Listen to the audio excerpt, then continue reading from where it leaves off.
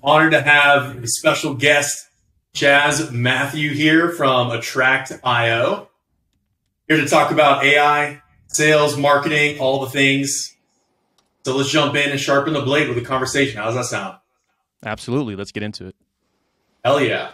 Cool. So just at a high level, do you want to share with people like what do you do and, and, and how do you help them? Absolutely. So yeah, my name is Shaz Mathew. I'm located in Chicago, Illinois, uh, America.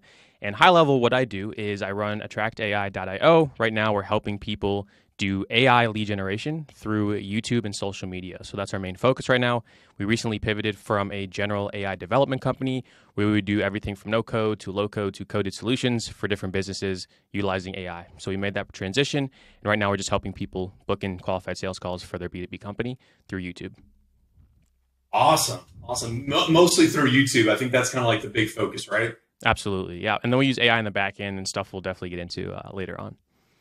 Very cool. So what what is it that's different about YouTube from all the other channels? Yeah, so I have a lot to speak on that. I think there is no doubt in my mind YouTube is the best platform for lead generation. I think it's the only social media platform for one, discovery, two, nurturing. So it's like an all-in-one solution. People could find you, get nurtured by your channel, and then book in a call with you. Uh, and you just get higher quality leads, right? If someone watches a seven-minute video compared to a 60-second short, there's night and day difference between the quality of that lead and you know how much they want to work with you. So I think YouTube is just the best, most leveraged lead generation platform. What did you learn throughout that transition from trying different like no code tools and finding your way uh, to your offer? Can you like kind of describe a little bit like what it was like being on that journey?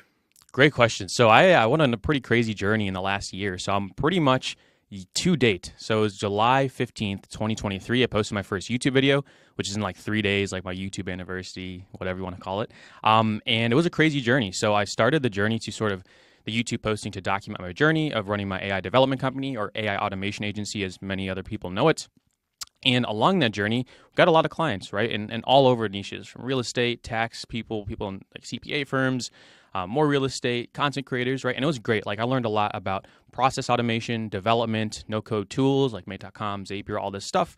Um, but along the way, it got to the point where it was becoming unscalable and unenjoyable for me. So I didn't like working with a bunch of different people. It was hard to take on different projects because people wanted different things and they used different softwares and some people were tech savvy, some were not at all. So it became unscalable for me. And in the back end, I realized like, okay, I'm booking in really highly qualified leads using YouTube. I said, hmm, a lot of people aren't on YouTube. And the people that are, I don't think they're doing it in the right way because a lot of people worry about views and subscribers, right? We're not trying to be Mr. Beast here. We don't care about views. We just want sales calls. So that's sort of what I pivoted into because I have all the systems for it.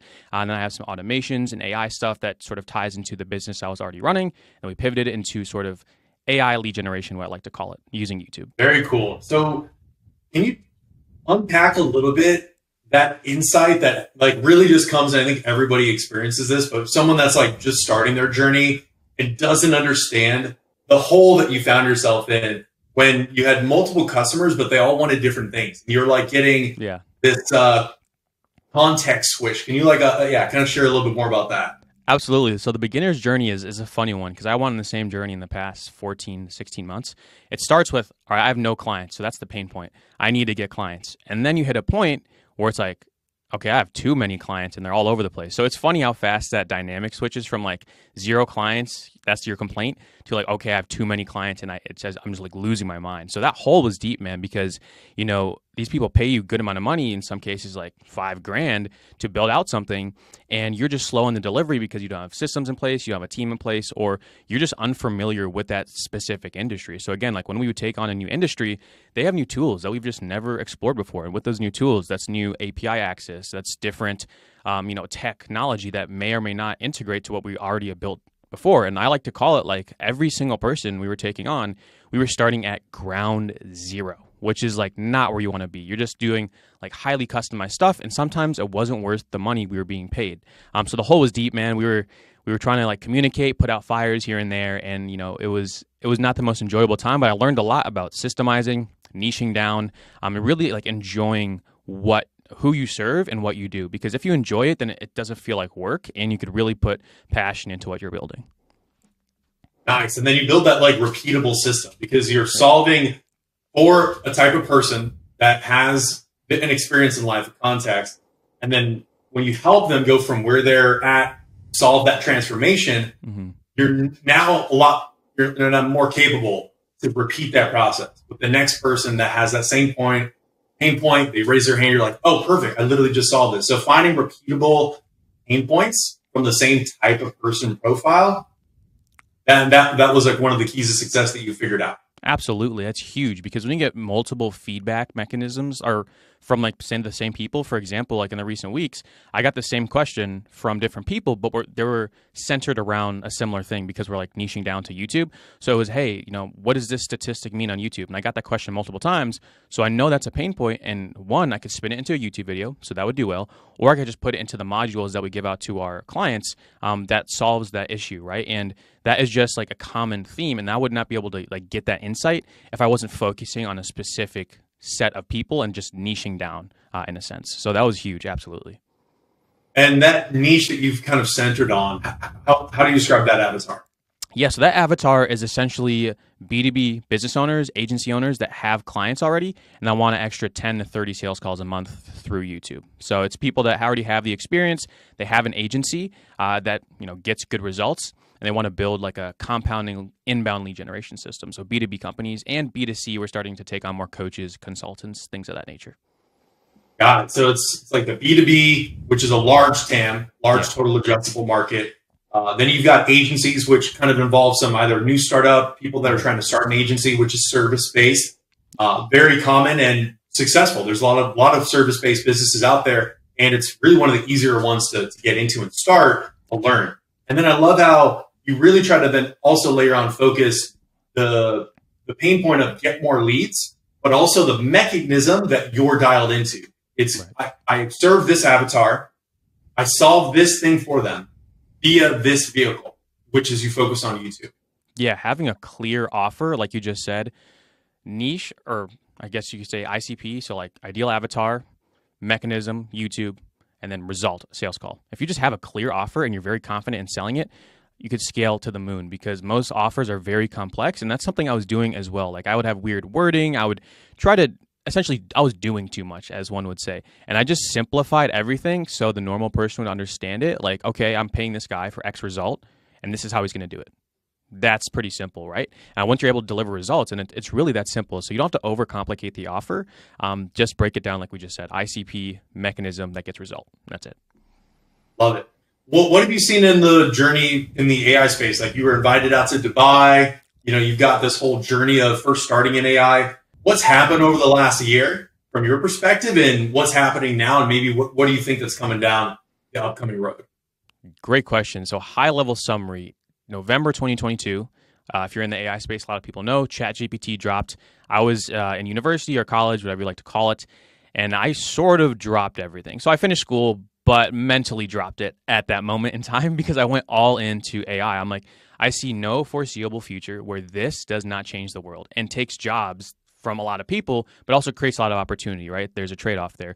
Um, so I sort of went all into that. And I was, I would say, one of the first people, maybe first hundred people on YouTube talking about my AI agency, right? So um, that was a huge moment. That literally, that one video changed everything for me. So if I never sat down and film that video, I would probably not be here. I would probably not have gotten invited out to Dubai. So, context on that some of the biggest AI agency owners um, that have a personal brand who went to Dubai, Liam Ottley, Akil Wade, Giannis AI. If you're in the AI space, you've probably seen some of these faces. Um, and we went out there and just networked, right? And again, that's that stemmed from personal brand. So I could say, bar none, biggest action I took in the last year was starting a personal brand specifically on YouTube. And then another sort of side piece to that is going all in on something I knew was going to pan out. So, like AI, it's not going anywhere. And I sort of took that leap. I think if you're in a position like me, younger, on the younger side, and I had that just sort of ability to jump in, I had no hesitation and I did it. And I think that's one thing I'll never regret just going for it, you know? it takes a lot of uh, courage to just be able to like really look back and say, damn, I really just dropped out of school or I like totally pivoted my attention. Yeah. At like a huge pivotal moment. I mean, it's not like we've had this before. It's almost, it's in a way, you know, the transformation of the internet, right? It's almost like yeah. that level up of a, of a moment in time. Yeah. Yeah. So what what's one of the things that you're hearing most often when you're getting on sales calls with customers? What, what's a pain thing or like I think everybody every business suffers from not having enough leads. Yeah. But is there an aspect that they're trying to solve that um, like is the type of customer that's, that's perfect for you to help? Sure. So commonalities on sales calls. Uh, I'll, first, I'll go to the AI agency stuff. So when I was running the AI agency, one of the biggest things I think we we as AI agency or AI business owners have to understand is the general market and the general world doesn't even understand what AI is. So I'll get a lot of questions about like how does this even work? Like high high level questions because when you zoom out, you know, we're in the very minority of people using this every single day, and sometimes we get caught up at our that that echo chamber or echo chamber of like all we do is talk about this stuff. So we assume everyone knows it, which is like could not be further from the truth. So you have to start breaking this stuff down in very, very simple language. Um, so that was a huge thing I got on like AI agency calls, like when I was doing that. And now transitioning over to YouTube, lead generation stuff. Um, lead generation, everyone again, everyone needs it. That's sort of why I went that route because every single person needs leads. It's just a, it's a given. And the biggest thing I see there is essentially from us, like, can we guarantee these results? Will YouTube actually book in sales calls? Uh, which we'll probably get into later uh, about like guarantees and formulating an offer and stuff like that. But people just want to know that I could provide them leads because I'm assuming they've been burned in the past. Or a lot of people don't think, I had this call the other day, a lot of people don't correlate YouTube with business. They're like, oh, only kids are on here, Mr. Beast type people are on here. And they don't really see that YouTube is the second biggest search engine on the planet, and a lot of business flows through it every single day. Um, so that's another thing. It's just like a lot of people want a guarantee about YouTube and leads. At least on our end, that's what we've been seeing. Yeah. So they're not familiar with AI. They're asking like, "Hey, what's the missing component?" Trying to get more leads that they're already doing. I'm assuming they're doing some type of cold email outbound Yeah. or cold calling. Yeah, a lot of cold email, cold DMs, LinkedIn like outreaches, um, stuff like that. Yeah, the lowest cost denominators for growing your business uh, that you've got the most control over is sending out more emails Yep. and also just picking up the phone. Uh, I think that's kind of the old adage of just the hard work. But if you could pick up the phone and talk to thousands of people all at the same time, you know, that's what I think I've realized around YouTube and like creating content is it's like getting on a sales presentation With a thousand That- people.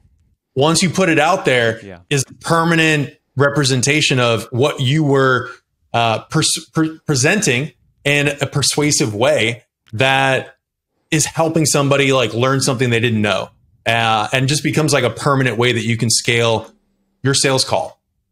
Yeah, that's a great way of thinking about it. I mean, I I challenge people to that are getting low views on social media, whatever it may be. Say you got 300 views on a video. Okay, cool. Go look at what a room of 300 people looks like. It's a lot of people. Like that is a lot of people, and those are all unique views, you know. And that's like a big perception switch. It's like, oh man, I only got 300 views. First of all, YouTube will give you quality views, so that's good. You'll get actual people that are interested because YouTube is built to match your videos to people that you know want to see them. And two, like 300 people is a lot of people. Um, and if you frame it right, if you have good call to actions and all the stuff that we sort of teach uh, to our clients, those 300 people, maybe three of them book in a sales call, and that might be worth 10 grand to your company. You know, so it's it's not it's a quality over quantity game in my opinion for YouTube, and just put into perception like yeah, 300 views for maybe four hours of work for a video. We've gotten it down to like two hours. So like we do two hours of work to do a whole video, and that might reach 300 people, which is an absolute win, like an absolute win. Yeah, that's incredible. What's your knowledge around how the YouTube algorithm works? Great. Yeah. So the YouTube algorithm, first, you have to recognize it's the second biggest search engine and it's an algorithm. So if you make the right content, which we break content into a few pieces uh, intro, which is your hook. So, like, get people to watch. You have your body, and then you have your outro, which has your call to action. So, like, go here, uh, book a call, opt in, stuff like that. Uh, that's like a, the three parts, really, really simple. And then you sprinkle in social proof among it and stuff like that. But the algorithm, if you make the video right, and then thumbnail and title, two most important things on YouTube, and then hook is third. If you do all that stuff right, you will reach your target audience because YouTube is built and predicated on the fact that it matches your video to your target audience. Like you just let YouTube do the heavy lifting. You just make good content. Like that those algorithms are built on billions of pieces, trillions probably pieces of data uh, around doing that. So you let YouTube do its job. That is the algorithm. You just have to do the actual videos well, meaning thumbnail, title, hook. That's really all we focus on, uh, and then social proof as well. If you nail that in every single video, YouTube will will do the heavy lifting for you. How does that compare with Google's SEO results? Right, like you've got the comparison. If you can lay it up of if you go search for a pain point, how to get more leads on Google, you're going to see a lack of pictures, but you're going to have these links up at the top. And then these are going to be competed against by very massive amounts of resources to maintain that top ranking list. And that's all dynamically changing. And then compared to the YouTube algorithm of you can create that thumbnail, the title uh, of the thumbnail, and then if somebody clicks it, there's some text as well as the intro, body, and the outro, like you just said. Is there any insights around that comparison or that value opportunity cost going after either SEO on Google or SEO in a way on YouTube? That's an awesome question. And to break that down, one, Google, if I'm not mistaken, owns YouTube. So if we've actually had, and this is insane to me, and we're trying to get better at this, but if you go into your YouTube videos and you go into analytics, about 6% of our views, I believe right now, are coming from Google. So, meaning someone like types a question and then our YouTube video is popping up, which is insane. Wow. Like, it's pretty crazy because YouTube or Google owns YouTube and it will push out videos. So, if you ever looked like a like sometimes I have to change a light bulb in my house or I have to change batteries in a remote and you look that up on Google, a YouTube video will pop up, right? So those things are interlinked, first of all. And second of all, I think there's a huge dynamic in shift from Google search to YouTube search simply because more people are visual learners than like blog readers. Um, and I think that's a huge thing. Like people want to see other people break something down, talk to them. They want to see visuals and case studies and edits and B roll, and they want to see that, and they don't want to read an article on how to generate more leads. I think that's a huge shift, especially you know as more business owners are, are younger. I think the younger generation. I mean, we just want to see stuff instead of read stuff. It's just the way it is. Um, so I think that's a huge shift that people are going more to YouTube with these questions then then they're going to to Google. And then overall, you can't go wrong with either because both are pulling in billions of monthly searches on both Google and YouTube. Um, so I think either or is good. It depends on your business, and it really depends on if your ideal client is online. So if your ideal client, if you're running like a uh, super high ticket like oil company, right, and you're selling like oil equipment to other like you're not going to post on YouTube because your ideal clients aren't there. That's why you might want to do the SEO route um, and then go on Google. But if you have an ICP that's even online a little bit a day, I think it's it's a no brainer to be on YouTube.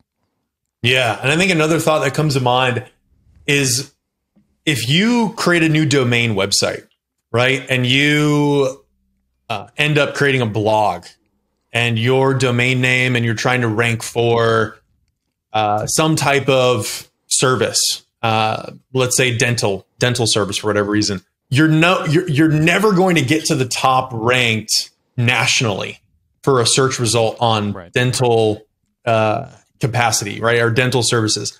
But if you make a video on that and you put it on YouTube, the algorithm will actually try presenting it to an ideal avatar that's been searching recently or just so happens to have made some click on Google and now they've they they might next click based on the algorithm's prediction on I need to go find a dentist. Like I just typed in like yellow teeth stain. Oh, well maybe now I might be served up a YouTube video. Yeah. And so on YouTube it's almost like a more of a democratization of you can start a channel, you can make videos and then you do get a shot at being at the top of the list.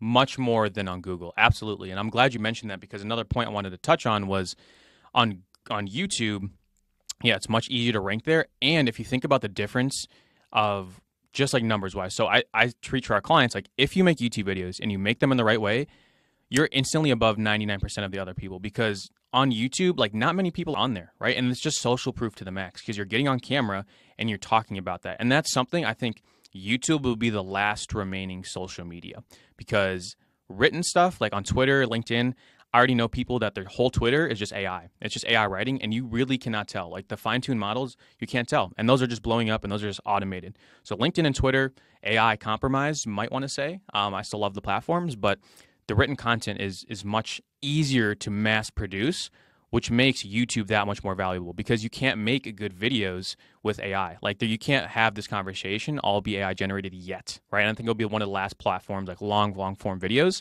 um, that gets replaced by AI. I think Instagram Shorts are um, more or short form is more replaceable than long form. So that's another thing. It's just getting on YouTube now and just putting yourself in front of the camera is separating you from the masses in your industry. One hundred percent. Yeah, yeah, I agree, and, it's just long term lead generation. Like you, you know, your business is around trying to help people get on YouTube because it's so profitable in the terms of it's going to be permanently out there.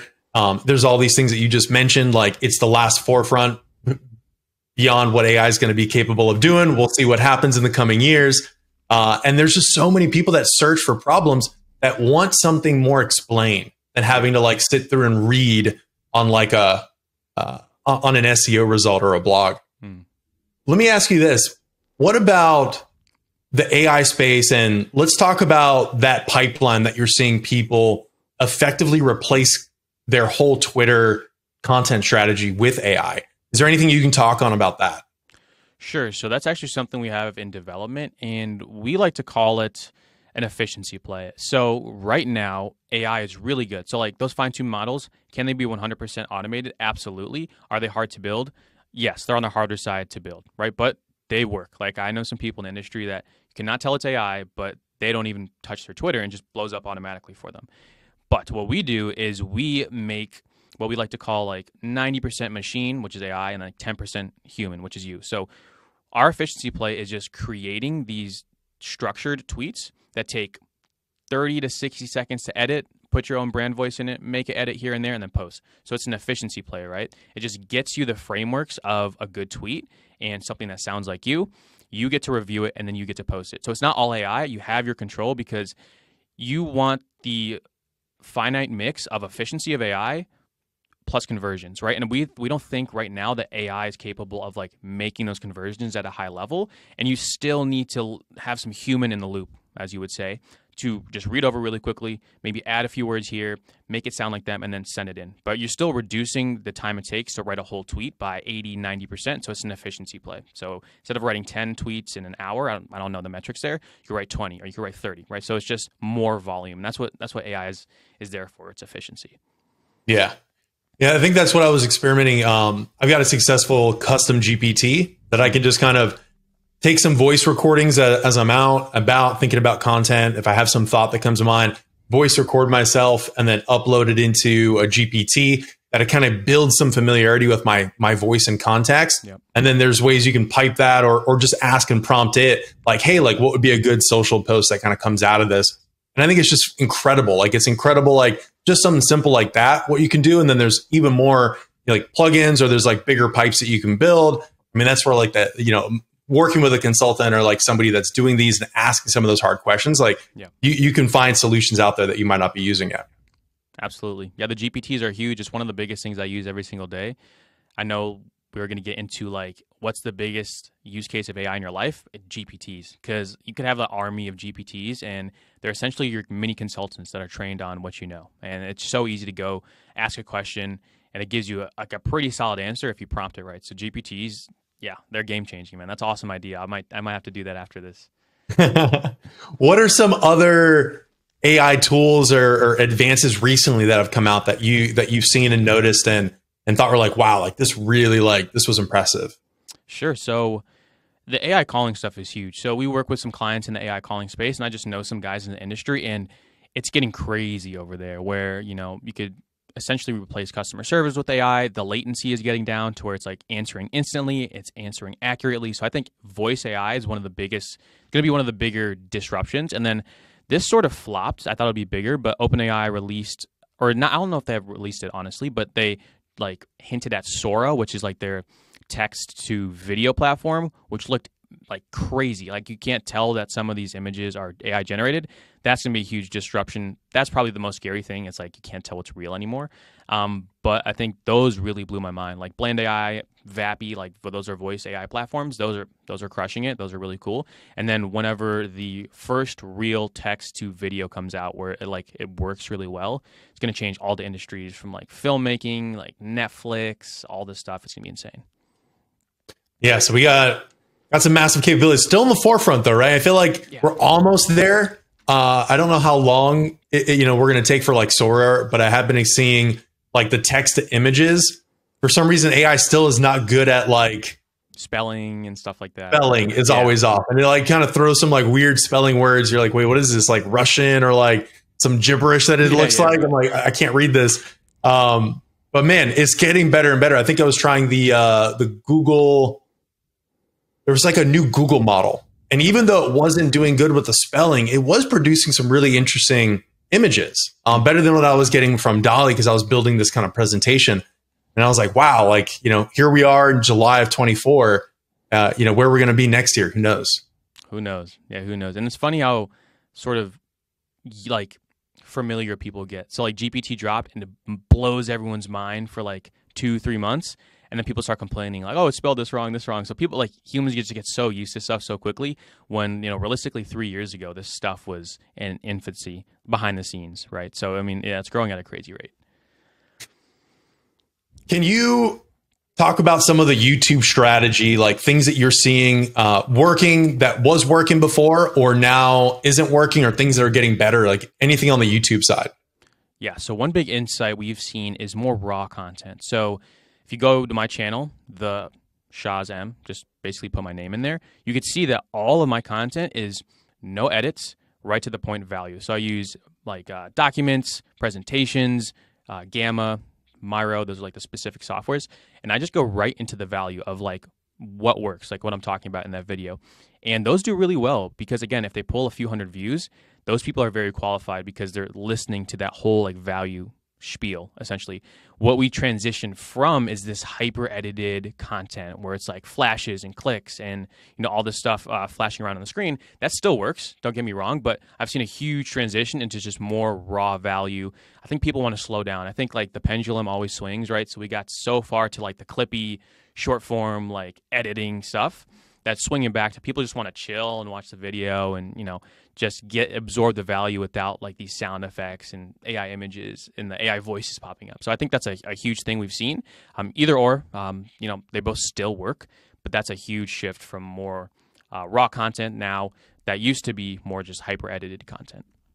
Yeah. Yeah. I think I've actually even also uh, purchased a whiteboard that should be coming because I've seen a lot of people do that. It's either like the Miro online uh, or something maybe on an iPad. Yeah. And then you've got the other option is you have a whole physical whiteboard or like some type of thing you can draw on. Just as simple, like make it less uh, techie as you're saying and kind of just bring it back to the basics. Absolutely. I think people are starting to equate the the techie, flashy stuff with like these gurus, and people don't like that word, and people don't like those people.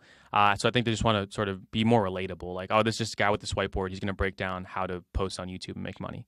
Like, that's pretty simple. So I, I see why it's swung back that way. Yeah. I can see the audience uh, like enjoying that that form of content. Absolutely. What about A/B testing? How are you deploying that in your YouTube strategy? So A/B testing, YouTube just released the features on the thumbnails front for A/B testing. So you can now upload three thumbnails per video, and it will sort of auto test for you. I don't have concrete results on that yet. I've heard some people say it's hurting your videos. I've heard some people say it doesn't matter. Um, on the click throughs of my three thumbnails, I did it for one video so far. They were relatively all the same. I think they're in 0.01% of each other, so didn't make too much of a difference so far. Uh, so on that front, that's what we're doing. And then on like the actual video front, we always test out new um, hooks and new call to actions, just to because again, the hook is a the biggest thing. If you could have value from, so you make a 30 minute video, value could be from minute two to minute 30. But if you don't nail those first two minutes, no one gets that far. Uh, so hooks are a huge thing. We try to hook in the audience either in a visual manner with something I say, with like a promise that I'll get to at the end of the video. So hooks were always sort of A/B testing, sort of, and we're trying to get better at tracking the results of that, and then call to actions as well. So do I mention uh, a free strategy session? Do I say DM me on Instagram? Do I say opt in? So just like what's the best call to action that one gets people to to click, and two actually converts into money. So those are always things that we're testing. Yeah. Well, I haven't tried the thumbnails. I'm about to on the next video. So I'll also I'm curious like what the results are going to be like there. But when you come to the YouTube like whole funnel of ideation, scripting, shooting, video, editing, thumbnails. Like there's so much in here. There is. yeah. Um, how do you approach that? And like, what's the time that you feel like it takes to do each one of these successfully? So yeah, YouTube is huge, and this is like in the program we release to our clients. It's just organizing your thoughts. So we just have a ten step process. It's simple. If you want to post a video, you go in there, you follow each step to a T, and then you post. Um, so just having systems, I guess that's the word, right? Systems in place to organize your thoughts because it's very easy to get overwhelmed, right? So you have the idea first, or you know, God forbid you record first and then make the thumbnail. Like there's like there's an order you should do stuff in because you know it just gets out of hand pretty quickly if you don't do it in order. And this all comes with testing. Like I didn't hop on YouTube a year ago and have it down. I was like losing my mind at a point, which is why I systemized everything. And then now it works, works much better. So like by the time the video is recorded, boom, the thumbnail's ready from my guy. I put it there and it's ready to post. So right now we have it down because I do more raw style content where it's literally um, running the five figure agency with myself in a video editor. That's all I need right now. And it's just two hours for us to post. So I have the idea. It takes me about an hour like to break it down. I got the idea. I break it or I write the actual script, which is like the Miro document, the Gamma document, the Google Doc. That takes about an hour. That's the, like the the brunt of it because I want to make sure it looks nice. I want to make sure it like actually makes sense. Um, so that's like the most of it. It takes me about 30 minutes to film, 30 minutes to edit, and then post. I have like pretty much all my descriptions and keywords and stuff um, dialed in, so that doesn't take long. And then the thumbnail's ready for me when I'm ready to post. So it's about two hours in total, maybe maybe three at most. Awesome. Do you have a custom hook strategy? How, how do you explore, document that, or, or get people to to want to watch more than just the first two minutes? Great, great question. So what we like to call that is confirming the click. I've heard a lot of people say that. It's like confirming the click or validating the idea. So if your video is how to make money online, right? That's like your video title. In the first like 10 seconds, you should say, in this video, I'm going to show you exactly how to make money online and then go into social proof. Like you should literally, the thumbnail and the title should instantly be met as soon as the video starts. See, I see a lot of people that we work with and sort of correct their strategies. Like they start like, okay, let me introduce myself. Hey, my name is XYZ. I help XYZ. Well, no one, no one cares. You know, they just want to make sure that they clicked on the right video and that they're going to actually get the value that they clicked on the video for. So you have to max, match that expectation as soon as the video starts, or people will leave, and people will, will leave regardless. Like I'm looking at my channel, and you know, 50% of the audience is leaving after like two, three, two minutes around. So people click off regardless. That you can't stop them, but you want to make sure as many people obviously watch the video because if they get two minutes in, they're more likely to get 10 minutes in and, and finish the video. Yeah. it's all about just stacking the content and then getting the viewers to opt into your first video, subscribe, and then they're they're going to get notified every time a new video comes out. Yeah. And then you just have this whole uh, kind of brand that evolves. I, I think that's the cool thing is like when you can see the long tail uh, look back. Like I looked at your channel, it's like wow, you have all these videos, right? And it's like oh my gosh, like Shaz, is, you've done like countless hours. Like dude, you're the expert on this. Like you, you you've Yeah. done this over and over again. Um, and I think that's just such a visual wall of authority that, that comes about. Absolutely, and that's what we call the we call it the AI YouTube funnel. We call it a compounding system because again, I have videos from over a year ago, last year, that are still making me money essentially because I did it once, and then people watched the video I posted last week. That somehow funnels them to the video I posted six months ago. That funnels them to the video I posted eight months ago, and they just watch it like while I sleep, while I work on other stuff, and it just literally compounds in the background. And the golden rule, I forgot who came up with this, is the seven-hour rule, where if people watch on average about like seven hours of long form content, they're much more likely to buy from you. Um, that's like that's not exactly what the rule is, but it's like around seven hours ish is when people become like super super nurtured to if they're looking for the solution you sell, they will most likely buy from you. So reaching that point might take you know 10 20 videos but again it just builds up in the background and it builds insane social proof like you said Yeah. How do you spot a good offer? When clients come to you, are you advising them on like tipping point differences that they can make in their offer? Or how do you spot like one that really stands out? Yeah. So when we sign on clients, we basically do a full audit of channel. We give them advice on offers and we give them advice on conversion mechanisms, which are landing pages, opt-in pages, stuff like that. Because you know you could have the best channel, but if you're sending traffic to a dead page, nothing's going to happen. So that's sort of like the high-level overview of what we do. Um, and in terms of offers, what makes a good offer, hands down, is that you could guarantee a result and you have social proof to tell people you've done it before. That is it, right? If I go to you and I've dropped a lot of money on coaching on a sales calls because a guy will say, "Hey, I will guarantee you this result," and I did it for X, Y, and Z person. I did it for him and her and him and her and him, right? That are in your industry. So I'm like, all right, he knows what he's doing. He guarantees me the result, and I know these other people that worked with him and got a result. So that's social proof. I think social proof is the biggest, biggest thing. Like trust, social proof will because if no one trusts you, no one was going to hand money to you, right? And trust comes from social proof. So I think a good offer is you could guarantee a result, and then you have content assets online, and you have some type of case studies where it's like, hey, I've done this before. I'm not going to take your money and run. Well said. What other forms of marketing are you driving to your offer beyond just YouTube? Sure. So on YouTube right now is our main thing, and then we're also on Twitter, Instagram, and that is it. So it's all inbound and referrals. Referrals are huge because you know you're good at what you do. People will naturally refer you, and then you give them some incentive to refer you, etc. But right now it's all inbound. We haven't done any SEO. We haven't done any ads yet. Um, I, I'm pretty big on ads. I think if you can nail the skill of ads, you'll always make money. Because if you could spend one dollar and make two, then you could you know pretty much print infinite money um, as long as the margins work out and stuff so but we're all inbound content at the moment we're going to also roll out outbound in the future probably linkedin automated outreach to start with do you know of any differences that you've picked up between the algorithms on youtube to twitter to instagram that you've been seeing Yes. So YouTube, we've sort of nailed it there. So I'm going to talk about the other platforms. Twitter your post dies fairly quickly. So Twitter is something that I think the lifespan of your post is like 10 minutes or something where like the algorithm will push it out and then it's sort of dead in the water after that. So you really have to hit it big and it takes off and people like it, retweet it and, and it you know sort of flies.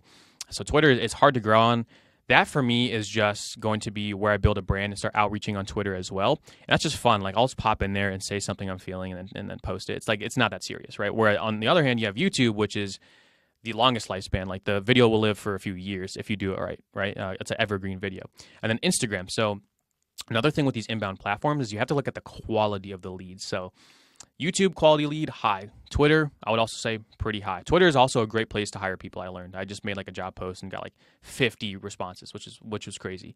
But Instagram is good for more B2C than B2B. Uh, B2C would meaning would be like coaching, consultants, more guru type people, I guess. I hate to use that word, but that is what Instagram is for. And it attracts those type of audiences, right? So in B2B space, we don't see many uh, sales through Instagram because the audience for us is more on the younger side and they usually don't have a big budget. So that's what we've seen from Instagram. What I do use Instagram for is every single day I'm posting a story that has some type of social proof. It's like a win from a client, um, what I'm doing, what I'm eating for lunch, just so people could keep up with me and like know I'm a human being and like be relatable. That's what I'm using Instagram for, just to build trust and then send people straight to YouTube. That that's it.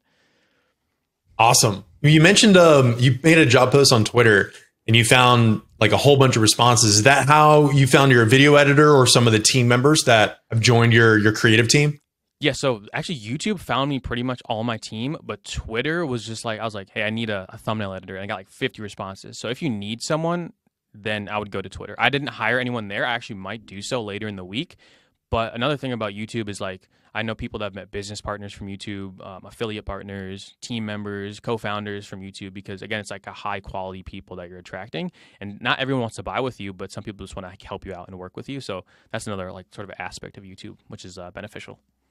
Yeah, definitely. Have you tried Upwork? Upwork, I have. Um, so I found my main developer when I was running my AI agency, and, and we're still doing that. So I'm still working with them. I found him through Upwork. Yeah, I'm glad you mentioned that because yeah. it's pretty quality. I think you get quality people. Uh, you just have to qualify them pretty well.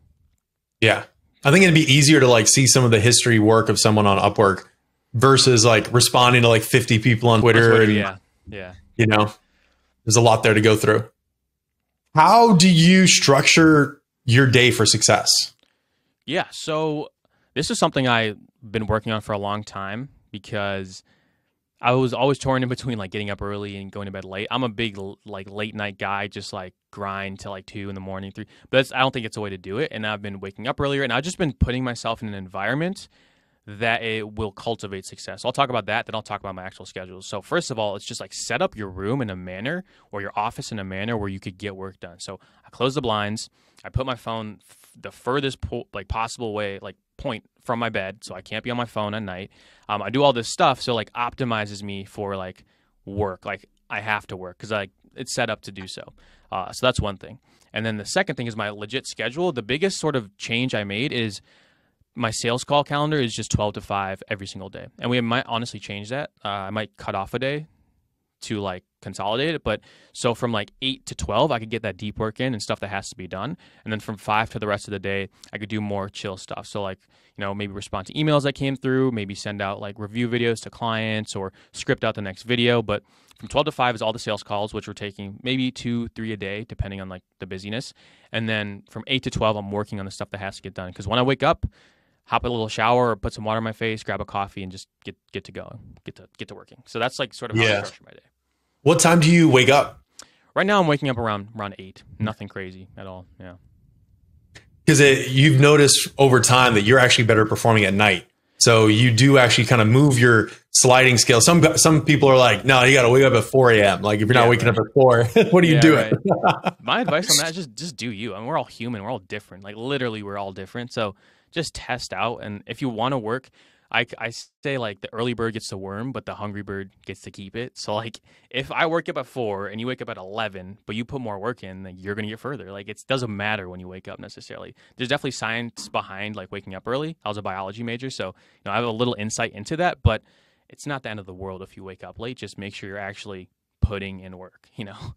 Yeah, I think like if you block out your your calendar like you do, right? Like you're eight to twelve, you, you get up, like you got to smash that coffee. I'm a believer in just hitting caffeine like right off the bat. Yeah. Um, I even remember like Huberman for a time was like, you know, you should really wake up and you should like not touch caffeine for an Sunlight. hour and a half. Go get sunlight, which I'm a proponent of. Yeah.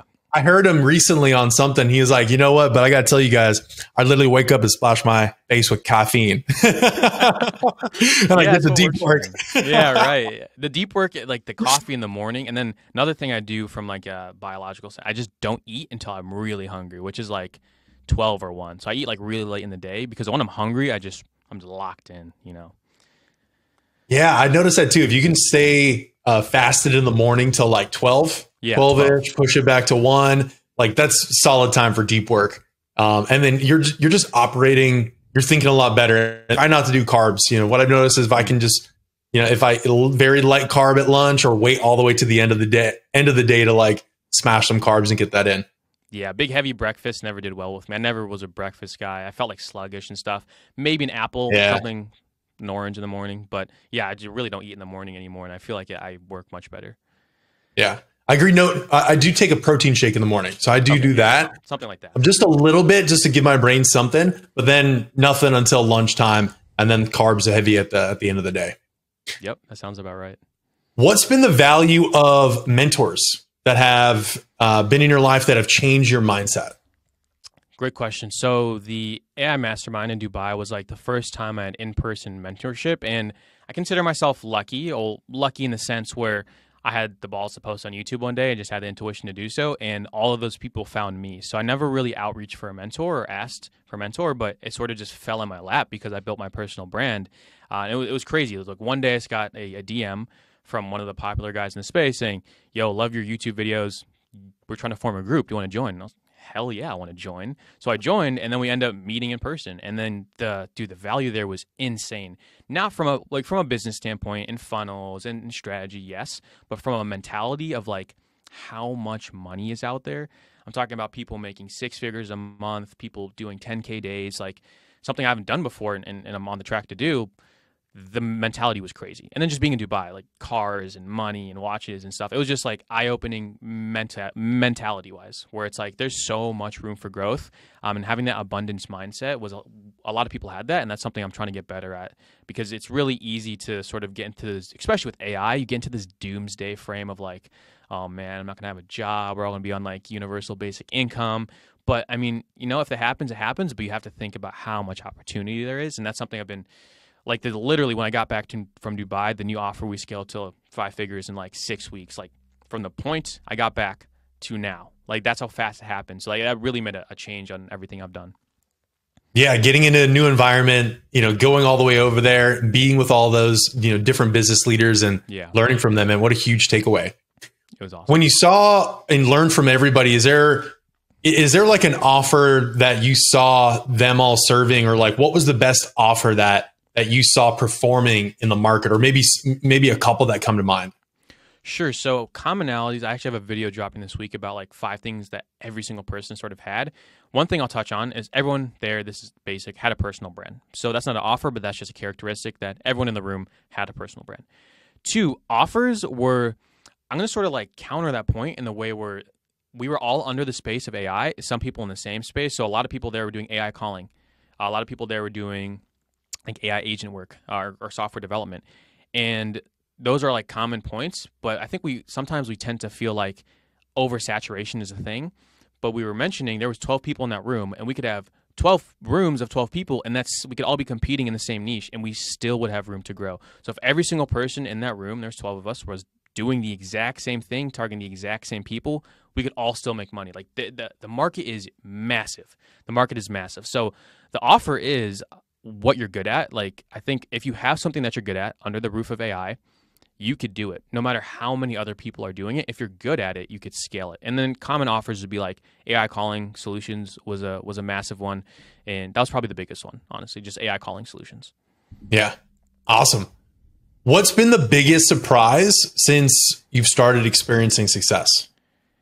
yeah um good question i think biggest surprise would be how fast it comes so like you'll be struggling for a while while while and boom just like oh man, I just made a bunch of money. Like I've never made this much money before. So it all happens really quickly, and it takes one tweak. One video goes viral. You change wording in your copywriting, or you change your hooks, or you change your service delivery or your team, and it all just clicks, right? So it's like it's like um, exponential, right? You sort of just you're going at this steady rate, steady rate, and then boom, one day it just like takes off, and then you you look back, it's like that just all came upon me really, really quickly. That's sort of what happens with success. That's why I'm a big proponent. You literally cannot fail if you just don't quit. So if you just don't quit and you have like half a brain and you have work ethic, you'll be fine. You just can't quit. You respect that a lot. Yeah, that's, that's the grind, man. You got to Yeah, say absolutely. sharpen the blade. Yes, sir. Outstanding. So here, I think we've gone through uh, a couple of the questions. I want to do like a like a shotgun approach where I've got a few questions, just going to fire them off and just like quick answer whatever comes to mind. Let's do it. Cool.